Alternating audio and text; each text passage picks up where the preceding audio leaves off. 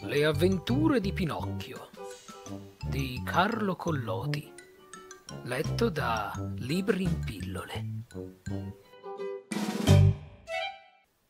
Capitolo 27 Gran combattimento fra Pinocchio e i suoi compagni, uno dei quali, essendo rimasto ferito, Pinocchio viene arrestato dai carabinieri.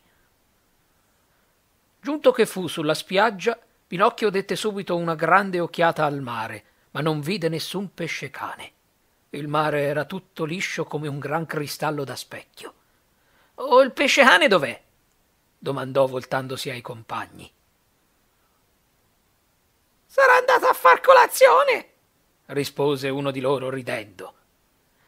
Si sarà buttato sul letto per fare un sonnellino, soggiunse un altro ridendo più forte che mai. Da quelle risposte sconclusionate e da quelle risatacce grulle, Pinocchio capì che i suoi compagni gli avevano fatto una brutta celia, dandogli ad intendere una cosa che non era vera.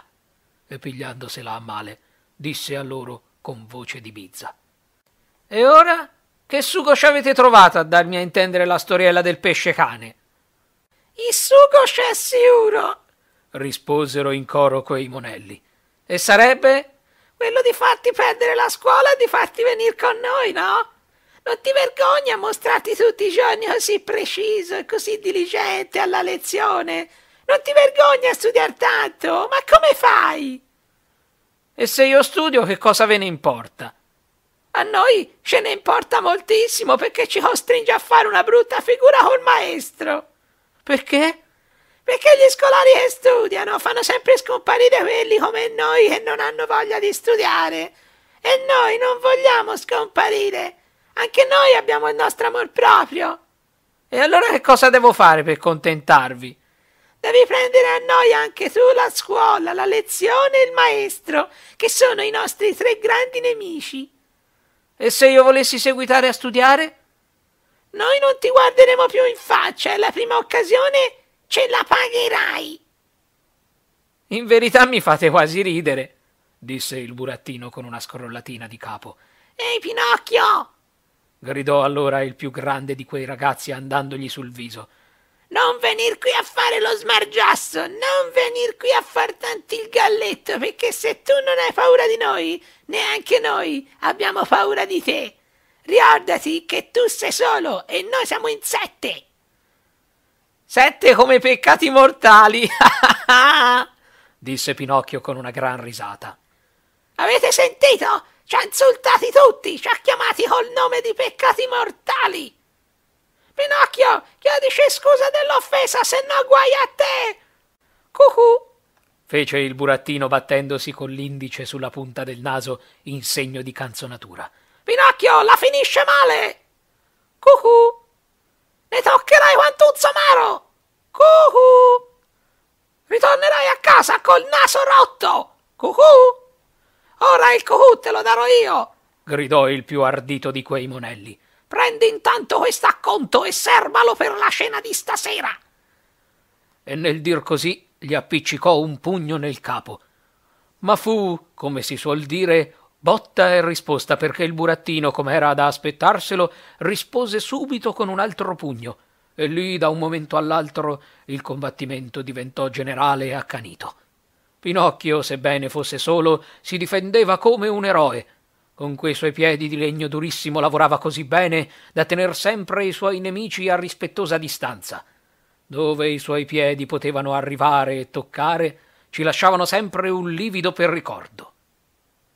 Allora i ragazzi, indispettiti di non potersi misurare col burattino a corpo a corpo, pensarono bene di mettere mano ai proiettili e sciolti i fagotti dei loro libri di scuola, cominciarono a scagliare contro di lui i sillabari, le grammatiche, i giannettini, i minuzzoli, i racconti del Tuar, il pulcino della Baccini e altri libri scolastici. Ma il burattino, che era d'occhio svelto e ammalizzito, faceva sempre civetta a tempo, sicché i volumi, passandogli di sopra al capo, andavano tutti a cascare nel mare. Figuratevi i pesci, I pesci, credendo che quei libri fossero roba da mangiare, correvano a frotte e a fior d'acqua, ma dopo aver abboccata qualche pagina o qualche frontespizio la risputavano subito, facendo con la bocca una certa smorfia che pareva volesse dire non è roba per noi, noi siamo avvezzi a cibarci molto meglio. Intanto il combattimento si inferociva sempre di più quando ecco che un grosso granchio che era uscito fuori dell'acqua e s'era adagio adagio arrampicato fin sulla spiaggia, gridò con una vociaccia di trombone infreddato Smettetela, birini, e non siete altro! Queste guerre manesche fra ragazzi e ragazzi raramente vanno a finir bene. Qualche disgrazia accade sempre. Povero granchio. Fu lo stesso che avesse predicato al vento. Anzi, quella birba di Pinocchio, voltandosi indietro a guardarlo in cagnesco, gli disse sgarbatamente Chetati, granchio dell'uggia! Faresti meglio a succiare due pasticche di lichene per guarire da codesta infreddatura di gola. Va piuttosto a letto, vai, e cerca di sudare. In quel frattempo i ragazzi, che avevano finito ormai di tirare tutti i loro libri, occhiarono di lì a poca distanza il fagotto dei libri del burattino e se ne impadronirono in men che non si dice.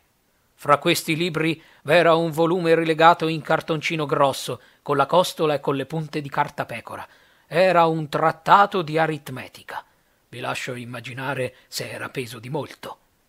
Uno di quei monelli agguantò quel volume e presa di mira la testa di Pinocchio lo scagliò con quanta forza aveva nel braccio, ma invece di cogliere il burattino colse nella testa uno dei compagni il quale diventò bianco come un panno lavato e non disse altro che queste parole. Oh mamma mia, aiutatemi perché muoio! Poi cadde disteso sull'arena del lido. Alla vista di quel morticino i ragazzi spaventati si dettero a scappare a gambe e in pochi minuti non si videro più. Ma Pinocchio rimase lì, e sebbene per il dolore e per lo spavento anche lui fosse più morto che vivo, non di meno corse ad inzuppare il suo fazzoletto nell'acqua del mare e si pose a bagnare la tempia del suo povero compagno di scuola.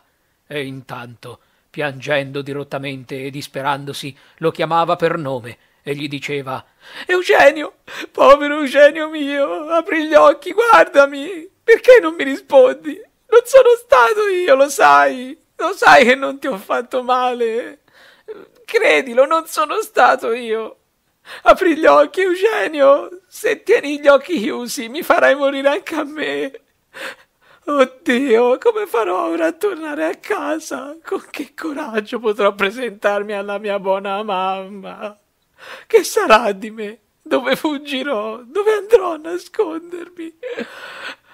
Oh, quanto era meglio mille volte, mille volte meglio che fosse andata a scuola. Perché ho dato retta a questi compagni e sono la mia dannazione? E il maestro me l'aveva detto e la mia mamma me l'aveva ripetuto. Guardati, guardati dai cattivi compagni. Ma io, io sono un testardo, un caparbiaccio. Lascio dir tutti e poi vo sempre a modo mio e dopo mi tocca anche scontarle. E così da che sono al mondo non ho mai avuto un quarto d'ora di bene. Dio mio, eh, che sarà di me? Che sarà di me? Che sarà di me? E Pinocchio continuava a piangere, a berciare, a darsi dei pugni nel capo e a chiamar per nome il povero Eugenio, quando sentì a un tratto un rumore sordo di passi che si avvicinavano. Si voltò. Erano due carabinieri. Che cosa fai così sdraiato a terra? domandarono a Pinocchio. Assisto questo mio compagno di scuola. Che gli è venuto male? Eh, par di sì. Altro che male, disse uno dei carabinieri chinandosi e osservando Eugenio da vicino. Questo ragazzo è stato ferito in una tempia. Chi è che l'ha ferito? Io no, balbettò il burattino che non aveva più fiato in corpo. Se non sei stato tu, chi è stato dunque che l'ha ferito? Io no, ripeté Pinocchio. E con che cosa è stato ferito? Con questo libro. E il burattino raccattò di terra il trattato di aritmetica rilegato in cartone e cartapecora per mostrarlo al carabiniere. E questo libro di chi è? Mio. Basta così, non occorre altro. Rizzati subito e vien via con noi. Ma io. Via con noi! Ma io sono innocente! Via con noi! Prima di partire, i carabinieri chiamarono alcuni pescatori che in quel momento passavano per l'appunto con la loro barca vicino alla spiaggia e dissero loro Vi affidiamo questo ragazzetto ferito nel capo, portatelo a casa vostra e assistetelo. Domani torneremo a vederlo. Quindi si volsero a Pinocchio e dopo averlo messo in mezzo a loro due, gli intimarono con accento soldatesco Avanti e cammina spedito! se no peggio per te. Senza farselo ripetere, il burattino cominciò a camminare per quella viottola che conduceva al paese. Ma il povero diavolo non sapeva più nemmeno lui in che mondo si fosse. Gli pareva di sognare, e che brutto sogno poi. Era fuori di sé. I suoi occhi vedevano tutto doppio, le gambe gli tremavano, la lingua gli era rimasta attaccata al palato e non poteva più spiccicare una sola parola.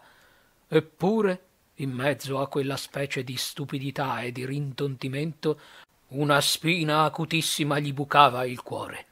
Il pensiero, cioè, di dover passare sotto le finestre di casa della sua buona fata, in mezzo ai carabinieri. Avrebbe preferito piuttosto di morire. Erano già arrivati e stavano per entrare in paese quando una folata di vento strapazzone levò di testa a Pinocchio il berretto, portandoglielo lontano una decina di passi.